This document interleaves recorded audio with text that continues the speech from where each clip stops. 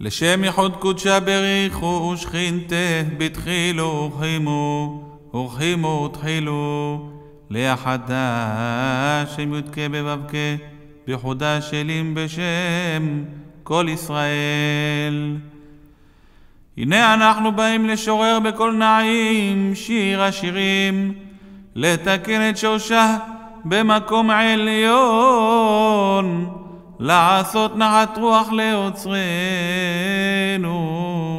ולעשות רצון בוראנו ויהי נועם אדוני אלוהינו עלינו ומעשה ידינו כוננה עלינו ומעשה ידינו כוננהו